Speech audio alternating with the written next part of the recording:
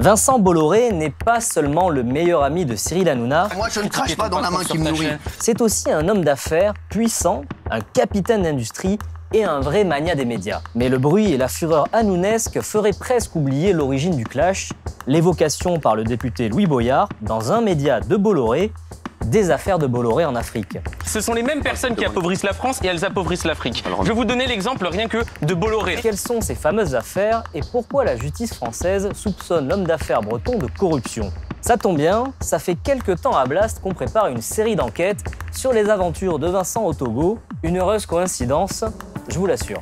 Une enquête de Nicolas Vescovacci et Andrew Vert en partenariat avec Africa Confidential. 26 février 2021 se déroule une scène étonnante au tribunal de grande instance de Paris.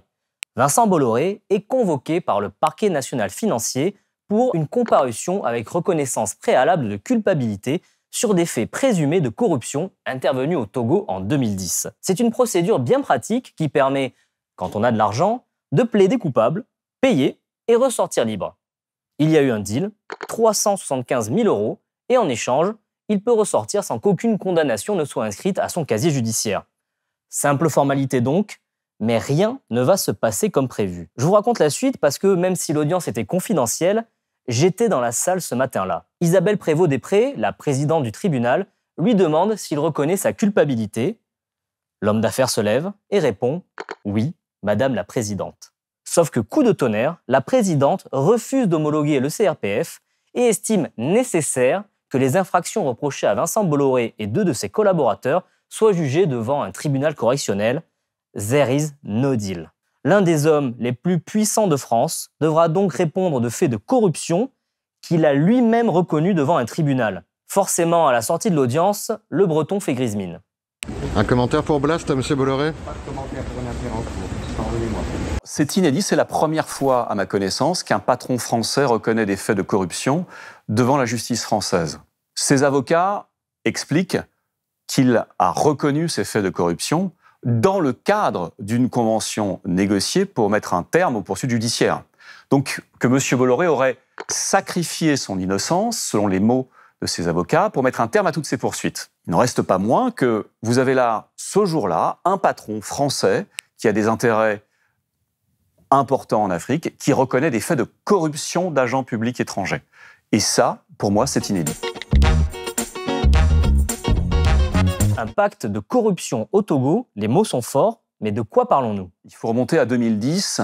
Euh, entre la fin de l'année 2009 et, et, le début de l'année 2010, il se trouve qu'on est en pleine campagne présidentielle au Togo, que le président sortant, Faure Gnassingbé, est dans une campagne, euh, qu'il y a une opposition, et qu'à ce moment-là, eh bien, il y a un pacte qui va se jouer entre la présidence togolaise et le groupe Bolloré pour financer une partie, une partie seulement, des frais de communication du président sortant. Le groupe Bolloré, à travers l'une de ses filiales, SDV Afrique, va payer à peu près 300 000 euros hors taxe de frais de communication. Le parquet a établi les faits, et donc c'est bien le groupe de M. Bolloré qui a payé une partie de ces frais de communication pour un président de la République sortant en campagne pour sa réélection en 2010. Et évidemment, le président sortant, nous sommes au Togo, a remporté les élections. Ce qui veut dire qu'on a un patron français de l'importance de M. Bolloré qui a joué un rôle majeur dans la réélection d'un président africain. Et ça aussi, de mon point de vue, c'est inédit. Alors c'est établi dans les documents judiciaires. Monsieur Bolloré a bénéficié de contreparties industrielles, économiques et fiscales pour de nombreuses de ses filiales présentes au Togo. De la fin 2009 à mai 2010, les différentes filiales du groupe Bolloré vont bénéficier d'avantages très importants, et notamment la construction d'un troisième quai sur le port de Lomé mais aussi des avantages fiscaux. Ce qui veut dire que pour le parquet, on assiste bien, à ce moment-là, à un pacte de corruption entre des intérêts politiques togolais et un groupe français aussi puissant que le groupe Bolloré. Il se trouve que le port de Lomé est le seul port en eau profonde de l'Afrique de l'Ouest. Le Togo, c'est un tout petit pays, c'est 5 millions et demi d'habitants. Mais son port détient les clés de la logistique pour une grande partie de l'Afrique de l'Ouest. C'est dans le port de Lomé que vous pouvez faire arriver des cargos très importants. Et donc le port de Lomé manquait au tableau de chasse du groupe Bolloré à la fin des années 90. Lomé est un pays stratégique sur la côte euh, d'Afrique de l'Ouest. Et donc euh, c'est naturel, avec un grand euh, tirant d'eau, c'est naturel qu'on fasse un gros investissement ici.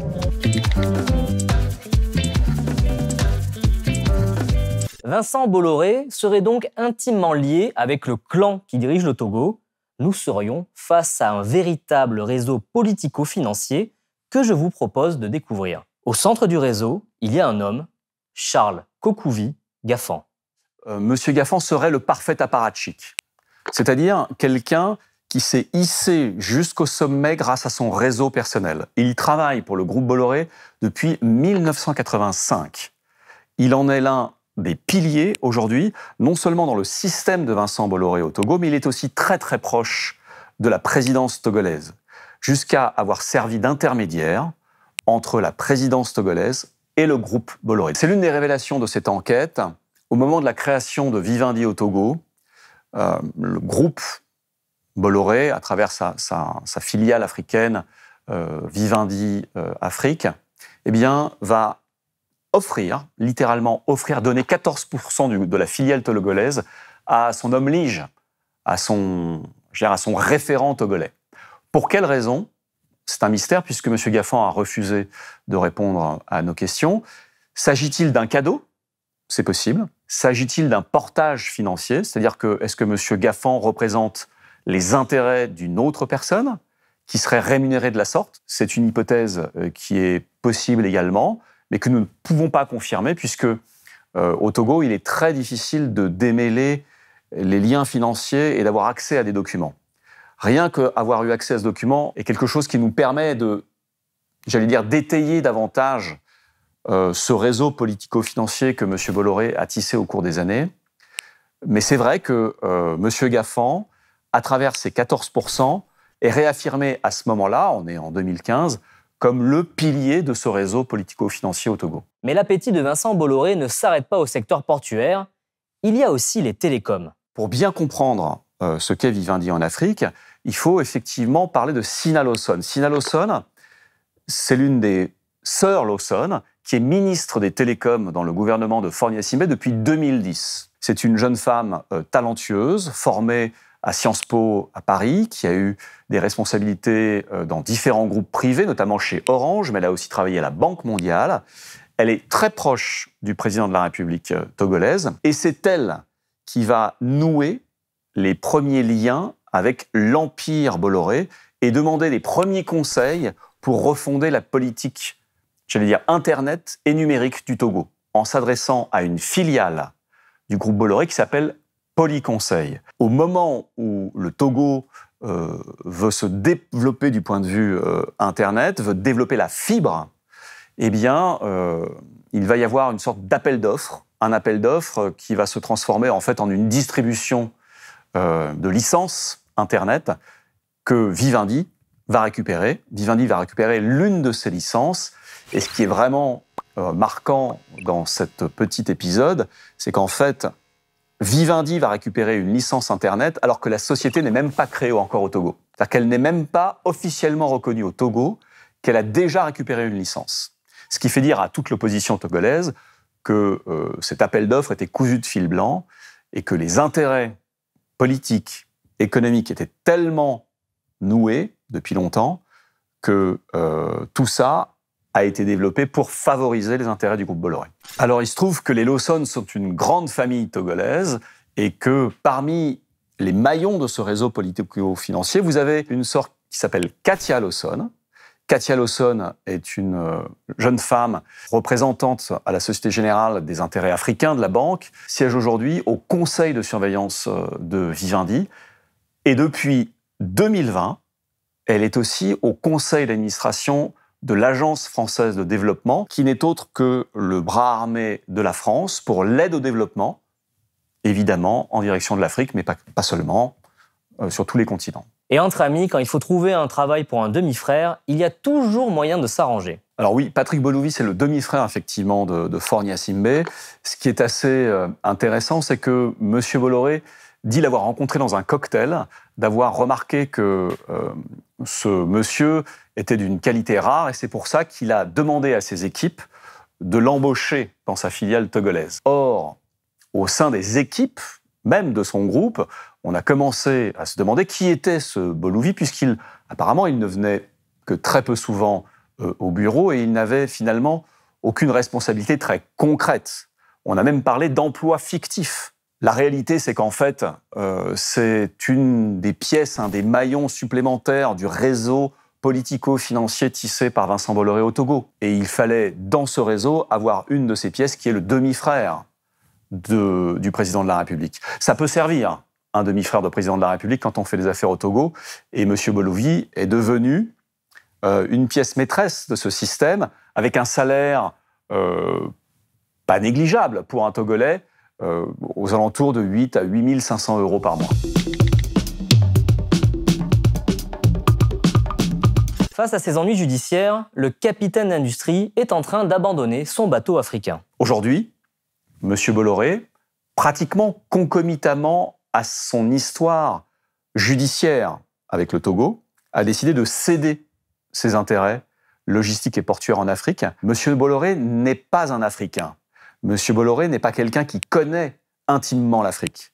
C'est quelqu'un qui a utilisé l'Afrique pour ses propres intérêts financiers. Il y a trouvé des marchés, des débouchés industriels, il y a fait beaucoup d'argent.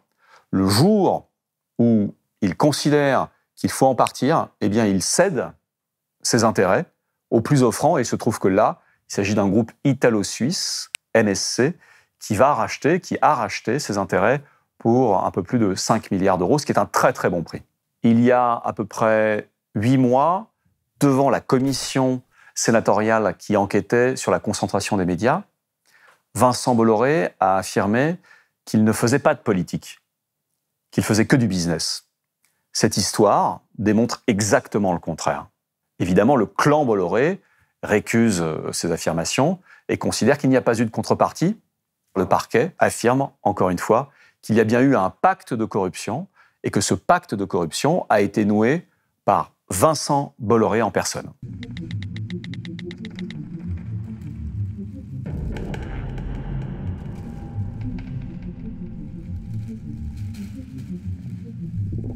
Depuis février 2021, le parquet national financier a renvoyé le dossier à l'instruction.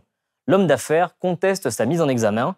Tous les recours judiciaires n'ont pas encore été épuisés par ses avocats. S'il a lieu, le procès ne devrait pas se tenir avant l'automne ou le printemps 2023.